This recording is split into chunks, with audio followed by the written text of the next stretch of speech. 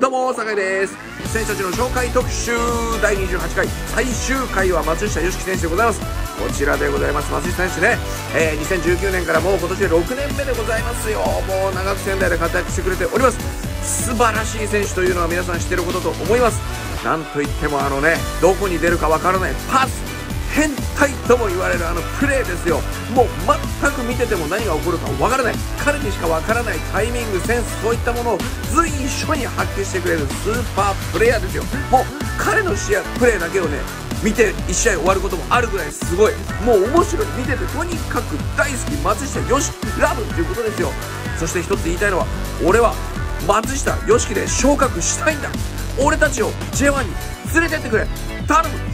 一緒に昇格しよう。そして最後にみんなで泣いて笑いましょう。ということでございましてバブス松下バブスベガルタ。最高に期待してる。